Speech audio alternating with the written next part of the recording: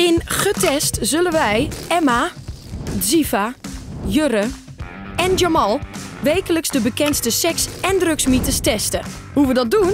Door het zelf aan den lijve te ondervinden. Zijn de resultaten positief? Dan is het waar. Maar komt de mythe negatief uit de test? Dan is het gewoon een lulverhaal. En de mythe van deze week is: je kunt high worden door ademen. De mythe van deze week is: je kunt high worden door te ademen. Ja, ik heb dit als kind wel- namelijk wel eens gedaan. En dan moest je zo... We moeten zo doen en je moest zo heel erg voorover. En dan opeens zo zei iedereen ja! En dan moest je zo opstaan en dan stond iemand achter je. En dan ging je dan zo flauw vallen. En dan werd je opgevangen. Maar eh, we gaan het natuurlijk niet doen voordat jullie hebben geliked. En gesubscribed. Ja. En in de comments hebben laten weten wat voor mythe jullie willen. Ja, ik vind het echt leuk om te lezen. Dus doe dat vooral. Ja, we lezen het alleen, meer doen we er niet mee. Wat? Je kunt high worden door ademen? Ik denk dat je door ademen high kan worden op het moment dat je heel weinig zuurstof in je longen hebt zitten. Mijn eerste gedachte over deze mythe is denk ik dat het waar is. Want als je heel snel zo... Dan word je lichtio, waardoor je zeg maar een beetje high wordt. Ik heb het zelf meegemaakt tijdens het mediteren. Dat ik wel even dacht van wauw, het voelt echt alsof ik aan het zweven ben. Of alsof ik drugs genomen heb. High zijn voelt eh, lekker. Lekker ontspannen. Lekker rustig. Over het algemeen ben ik er aardig relaxed onder en is het gewoon lekker ontspannend. Toch wel een beetje zweven of zo. En toch wel heel erg euforisch. En daar word je gewoon een beetje blij van. Ik denk dat de mythe waar is. Je kan niet high worden door ademen. Ik denk dat het niet waar is. Om te testen of je high kunt worden van ademen, ondergaan we vandaag een holotropische ademhaalsessie. Deze sessie zou als een trip moeten voelen die vergelijkbaar is met het nemen van hallucinogene drugs. Om te testen of we er echt high van worden, hebben we een persoonlijke checklist opgesteld in de categorieën waarneming, mentale effecten en fysieke effecten. De checklist is voor ons beiden opgesteld op basis van eerdere ervaringen met high zijn, omdat high zijn nou eenmaal voor iedereen anders voelt. Eh, Met het high zijn worden verschillende dingen bedoeld. De een gebruikt de term als hij eh, geverfd heeft en daardoor eh, een beetje licht is in zijn hoofd van alle verfdampen. De ander noemt zichzelf high als hij flink gebloot heeft. Dus geen universele staat van high zijn. We bedoelen vaak een bewustzijnsveranderend effect dat je kunt krijgen. Wanneer ik high ben, merk ik dat mijn zintuigelijke waarneming vertraagt. Alles komt wat langzamer binnen, van smaak tot zicht tot geluid. Ik beleef alles intenser, maar ik merk ook dat mijn zintuigen niet in sync zijn met elkaar. Mentaal kan ik makkelijker verbanden leggen, ervaar ik meer rust in mijn hoofd en ben ik veranderlijk door externe prikkels. Fysiek ben ik onrustig, gehaast en wil ik de hele tijd dingen doen. Wanneer ik high ben, is mijn zicht te vergelijken met een lens die scherp wordt gesteld. Geluiden ervaar ik harder en ik word super gevoelig voor aanraking. Ik leef meer in het nu, waardoor ik mijn to-do-lijstje even vergeet en ik krijg een hyperfocus en voel me licht en vrolijk. Vaak ga ik meer zweten en ik krijg het koud. Judith, jij gaat ons zo dadelijk begeleiden. Maar wat kunnen we precies verwachten van de hele sessie? Ja, nou dat valt niet te voorspellen. Eh, maar dat kan zijn dat je zintuigelijke waarnemingen hebt. Bijvoorbeeld dat je van die hele grote handen krijgt, voor je gevoel. Zie mensen daar wel eens zo eh, achter het masker vandaan naar kijken. Ehm, en verder... Het is gewoon echt een visuele... Ja, nee, je, je denkt dat je zulke grote handen hebt. Het is, het is niet echt, nee. Dat klinkt wel als trippen. Ja, dat is wel echt... Ja, verder heb je vaak emotionele ervaringen. Dus het kan zijn dat je heel veel boosheid of verdriet of angst gaat voelen. En dat dat er eh, heel erg uit gaat komen. Ja, dus het kan ook zijn dat je gaat schreeuwen, dat je gaat huilen. Ja, absoluut. Eh, allemaal mogelijk. Als je het durft toe te laten. Ja. Ja. Dan kun je nog hele fysieke ervaringen krijgen. Je kunt in verkrampingen terechtkomen. Je kunt eh, gaan trillen. Je lijf kan hele rare bewegingen gaan maken. En dan wil ik jullie ook vragen, laat dat maar gewoon gebeuren. En verder, en dat zal minder interessant zijn om te zien, maar kan het ook zijn dat jullie drie uur helemaal stil liggen. En dat jullie van binnen heel veel dingen gaan ervaren. En dat kan dan komen in de, in de vorm van beelden. Dus ik zou zeggen, wat mij betreft, ga liggen en dan gaan we de muziek starten. Als jullie er klaar voor zijn. Ja, Ja? let's go. Oké. Ja. Oké, nou Em.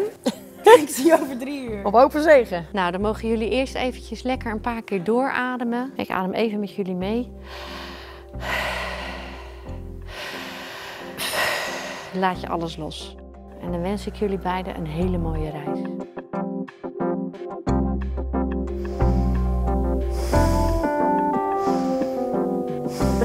Sessie is best wel snel heel intens. Want ik merk dat als ik ja, echt heel intentioneel ademhaal, Dat ik overal trillingen begin te voelen in mijn hele lichaam. Beginnend dus in mijn handen en dan gaat het zo.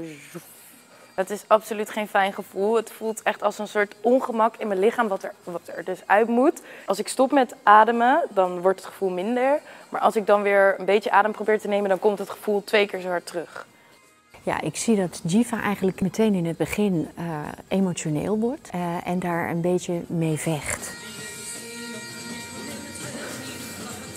Huilen en dat snikken is echt een uitlaatklep. Dus dan sta ik even niet meer onder zoveel spanning. En ja, ik moet ook niet huilen uit verdriet. Het voelt gewoon een beetje als een soort, eh, ja, echt een bad trip.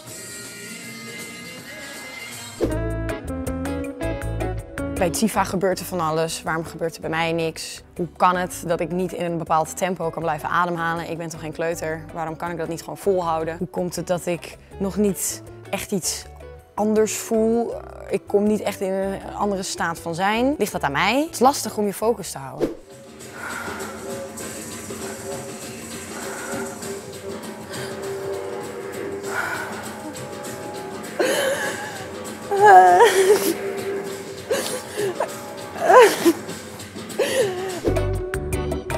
ben zo aan het focussen op hoe ik aan het ademen ben en tempo en het tempo vasthouden. Dat ik voor de rest gewoon volgens mij als een soort stokstaartje zo stijf lig. En ik, ja, ik, ik heb me niet echt kunnen overgeven aan het hele gevoel. Ik denk dat het omslagpunt is wanneer ik aan Judith vraag van... is dit wel oké? Kan dit kwaad? Is, is dit niet gevaarlijk? Nee, dit is niet gevaarlijk. Dit is juist de bedoeling. Er zit iets in jou wat eruit wil. Merk ik dat het op een piek zit en dat het daarna weg hebt. Maar dan voel ik me wel echt high. Ik voel me licht en alsof al mijn eh, spieren in mijn lichaam in één keer tegelijk ontspannen. En ik voel me ook blij, gewoon positief. Ja, gewoon zo van alsof de tijd stilstaat. Die muziek is best intens. En op een gegeven moment hoor ik een soort vrouw zo.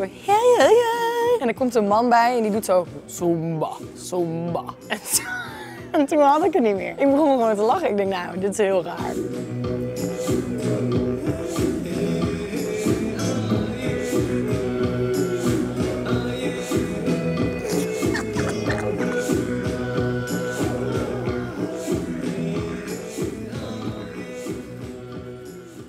Het wachten tot het klaar was. En ik dacht ook elke keer, dit is een mooi liedje om mee te eindigen. Maar blijkbaar eindigde de playlist er niet mee. Dus na elk liedje dacht ik, en nee.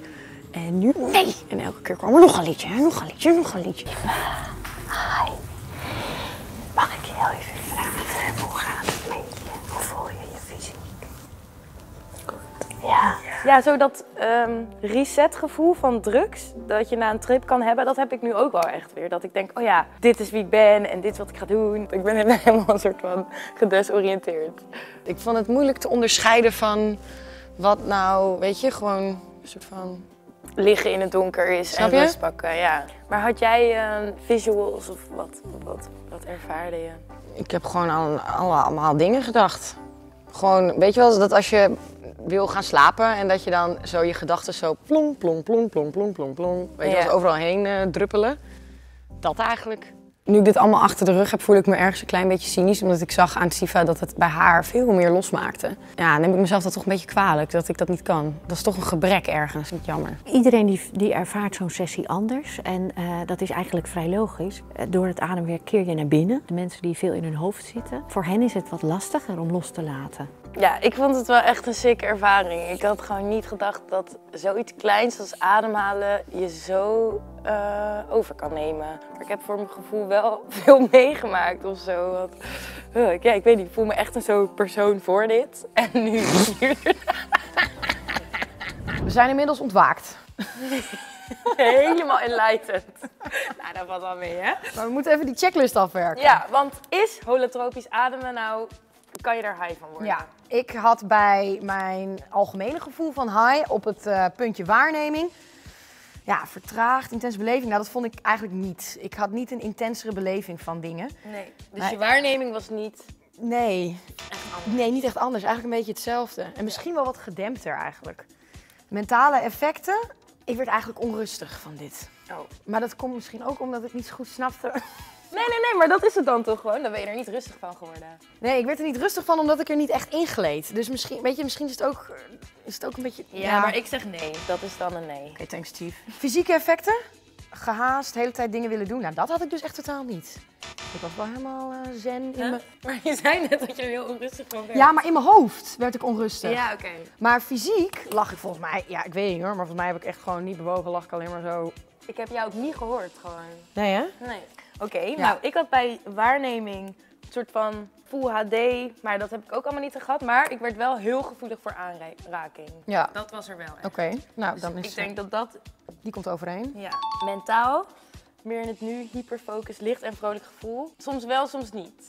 Maar zeg maar soms ook echt totaal niet, weet je wel. Dus ja, ik heb me wel, ik heb me wel zo gevoeld. Nou, dan, dan is dat Dan toch gewoon... Ja, zetten? tuurlijk. Ja, als je zo gevoeld hebt, dan is dat zo. Fysieke effecten, meer zweten, koud. Ik weet niet of jij het koud had, maar je lag al vanaf het begin Ik een had best wel koud. Ja. Je lag al de hele tijd. Dus hoe, er- hoe langer het duurde, hoe kouder ik het had. Ja, en je was niet per se luid, maar je was wel, je was wel, ja, je maakte wel geluid. Ja, Ja. oké, dus dan zeggen we, ja, dat was ook een check. Ja, dus dan heb jij eigenlijk, ben jij high geweest Ja. en ik niet. De mythe. Je kan high worden van ademhalen. Hebben wij officieel. Ik heb het groene dingetje al. Positief getest! Yes. Maar dus wel met de kanttekening dat het heel erg persoonsgebonden is. Ja, je moet ervoor openstaan. Je moet je hele ziel en zaligheid in de holotropische ademhaling stoppen. En dan, eh, dan kom je er wel. ja. Toch? Dus ik denk dat als ik, ja, dat ik wel liever een jointje rook. Maar we kunnen zo wel weer even gaan liggen. Die beetjes liggen er nog. Toch? Fuck it. Jawel, kom. Ik heb genoeg gehad vandaag. Let's go. Nee, Emma. De mythe. Je kunt high worden door te ademen is dus bij deze positief getest, maar met de kanttekening dat het heel persoonsgebonden is. We hebben nu vier mythes negatief en vier mythes positief getest. Welke mythe wil jij nog op ons kanaal terugzien? Laat het even weten in de comments. En tot volgende week!